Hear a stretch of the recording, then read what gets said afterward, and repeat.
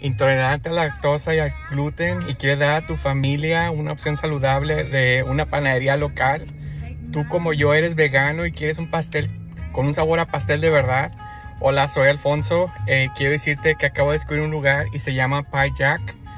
Eh, después de cinco generaciones de pasteleros, ellos reinventaron su legado. Pasteles y repostería con sabor de tradición, sin gluten, lácteos, huevos, soya ni maíz.